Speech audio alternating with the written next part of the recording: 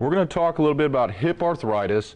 We're going to talk about some of the basics of hip replacement, some of the specialized procedures such as an anterior approach hip replacement.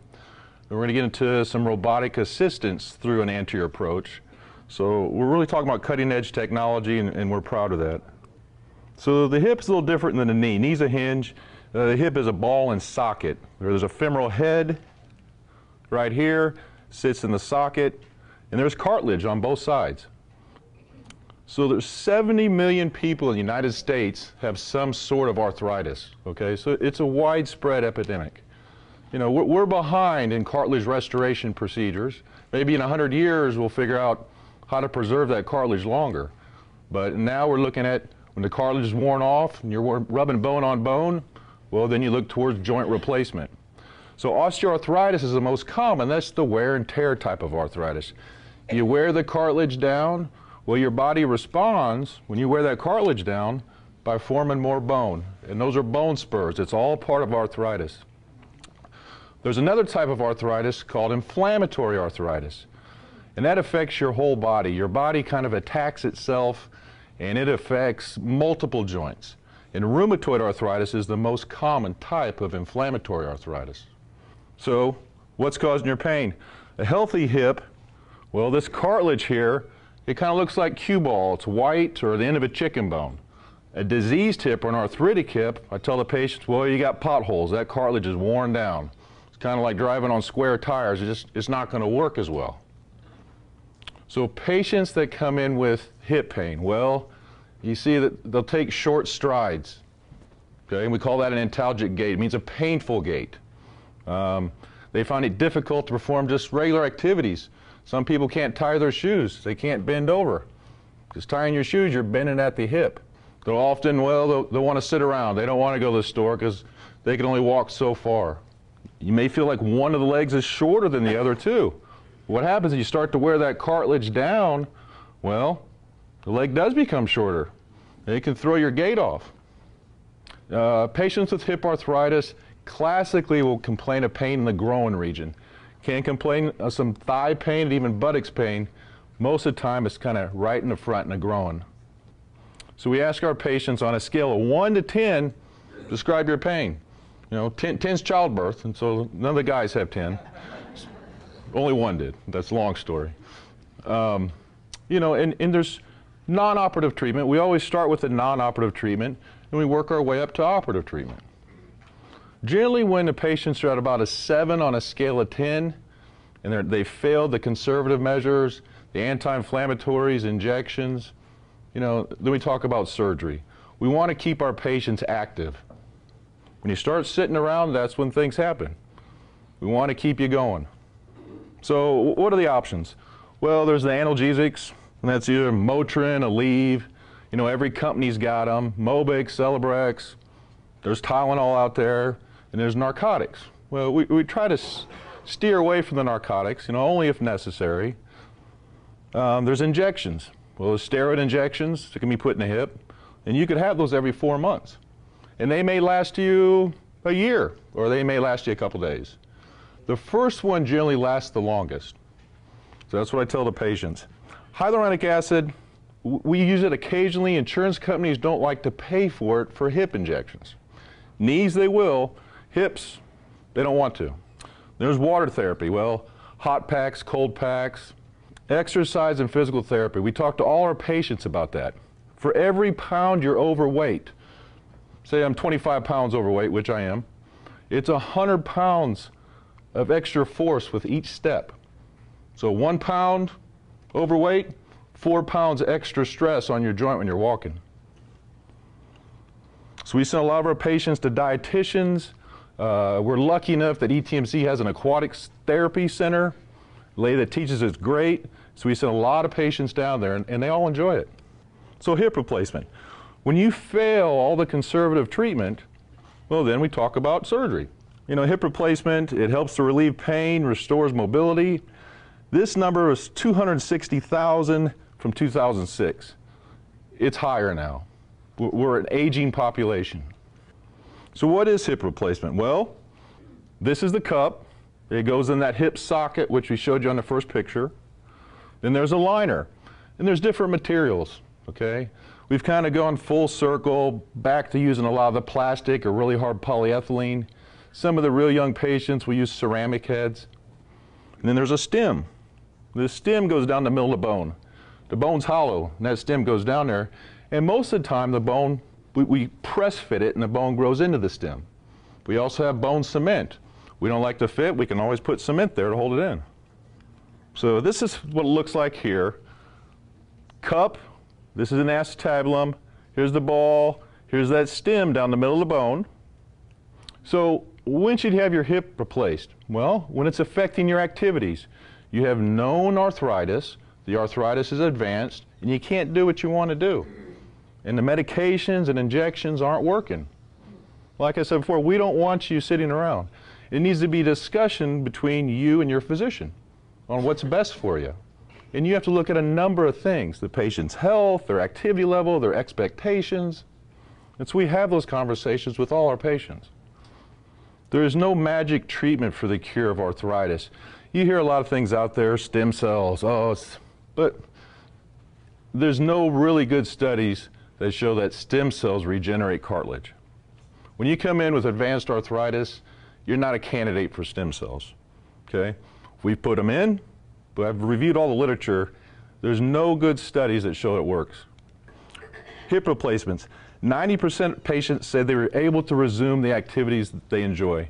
96% of the patients say they would do it again. And we talk about activity limitations. Well, golfing's fine. I let my patients play uh, doubles tennis, not singles, too active. And we want to preserve that joint.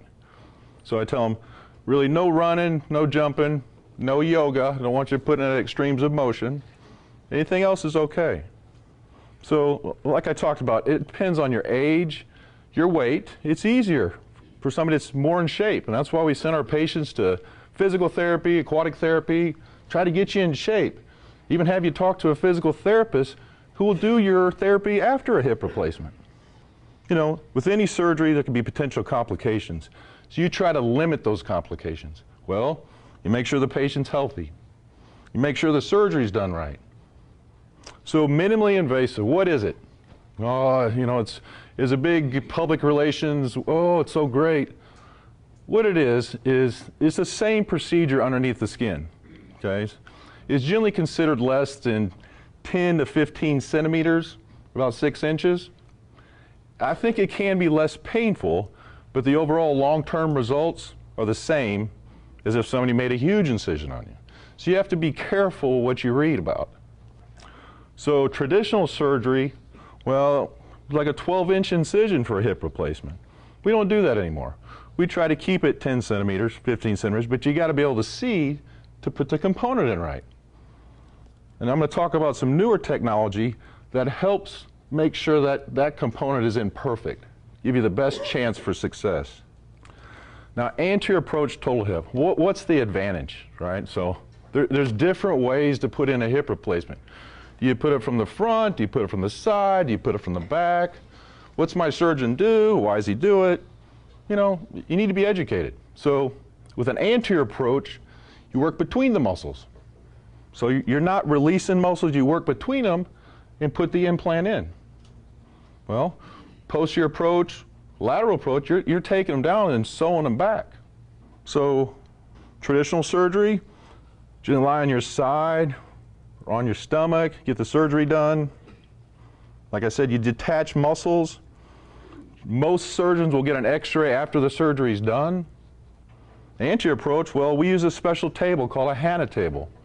We've been doing this for approximately 10 years here at ETMC, and we were lucky enough to go get trained out in California with the guy that started it here in the United States.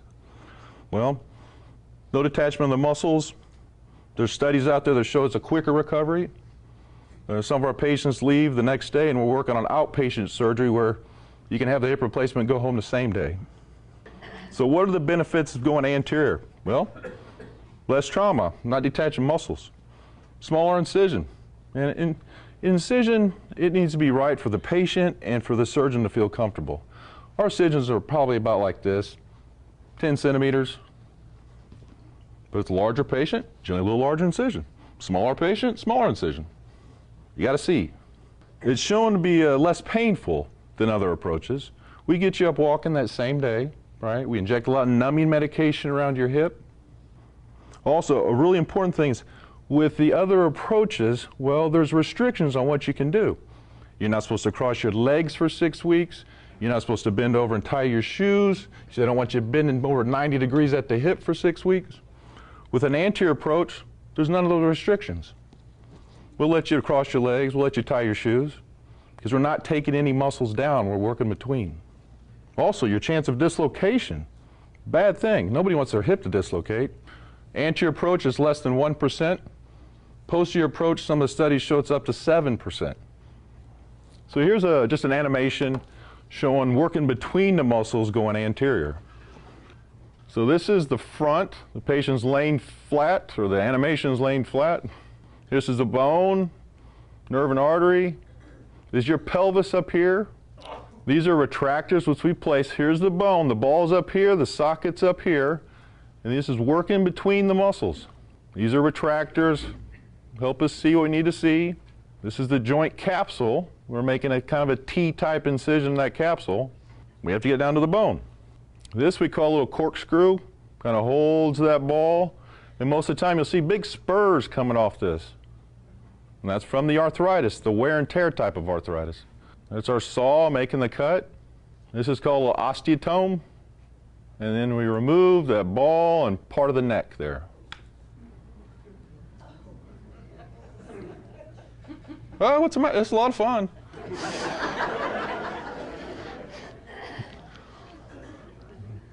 and here's the hip socket. These are retractors putting around the socket just so we can see. This is called a reamer. Well, we're going to make this the correct fit. And the back of that cup has porous coating. The bone grows into that. Here's a metal liner. Well, we've done one side. Now we have to do the other side. So here's the femur, your thigh bone. Well, like I said, bones are hollow. There's a real spongy bone here, but the rest of it's hollow. That's the canal. That's a rongeur, taking a little bone, make sure it's going down the right way. These are called broaches. So we're going to broach and get the right fit. We want a tight fit so there's no, no wobbling. We want bone to grow into it. This is a trial neck. And here's the ball. And there's different sizes for all these things. If we want to lengthen it, well, longer neck. Make it more stable, bigger ball. With anterior approach, we have the x-ray machine in the room at the time of surgery, right? So we're able to judge. We, we can look and make sure we have the proper leg length. The last thing you want to do is come out, one leg's longer than the other. So here's one of the x-rays we took during surgery, just to make sure it's perfect. We look at here, it's called the lesser trochanter, here lesser, to make sure it lined up with the opposite hip. Then we'll take these trial components out, and then we put in the real stem and ball. So there's trials, make sure it's right, take those out, put the final implant in. Then we'll reduce the hip, and we use that special table, and it really helps get good exposure. This is a little hook that can attach to the table, kind of lifts the leg up and down if you need it. Then we're able to reduce the hip, but as you see in this, this procedure, we haven't taken down any tendons or muscle. We're working between them. So the success of total hip arthroplasty, well, you look at the health of the patient. All the patients require medical clearance. Your primary care physician or internal medicine doctor have to tell us you're safe for surgery. Your activity level, well, if you haven't done much before surgery, you know, and you're out of shape, well, going to take longer to recover in all likelihood. Osteoporosis, we look at patients' bone quality. The skill of the surgeon, you want to go to somebody that's experienced, done a lot of them, and, and then patient's compliance with the instructions. A lot of it is the physical therapy that's performed afterwards, working on regaining proper gait or the walking, building strength in your muscles. Now this is a newer thing that's really excited about. Well, we have the anterior approach total hip, which in my opinion, I think is the best way to go. Well, now we can add a robotic arm through an anterior approach. So not only the chance of dislocations less than the other approach, the recovery is shown to be quicker, but now we have precision too. We can make sure it's perfect. And so this is an x-ray we see before surgery. It's a CAT scan. You do need a CAT scan.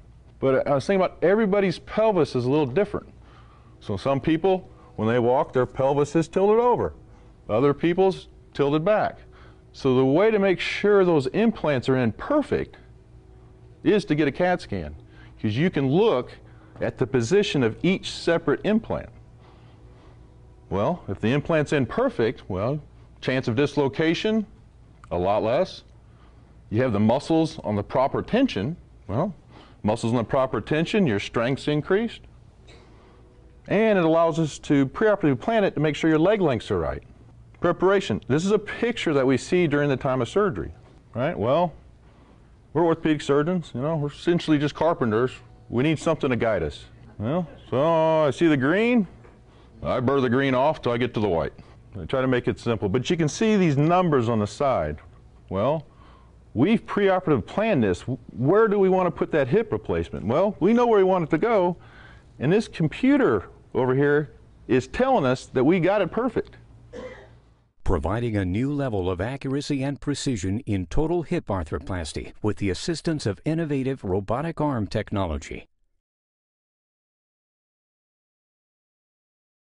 Makoplasty Hip is a revolutionary surgical treatment option for adults needing total hip arthroplasty.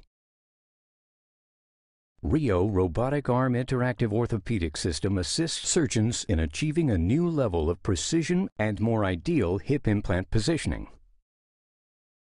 Surgeons preoperatively plan each patient's Makoplasty total hip procedure the CT scan and RIO provide a three-dimensional view of the joint and diseased anatomy, enabling an optimized procedure plan. Cup inclination, cup version, combined anteversion, and postoperative leg length are critical elements of total hip arthroplasty and are accurately planned for the individual patient preoperatively.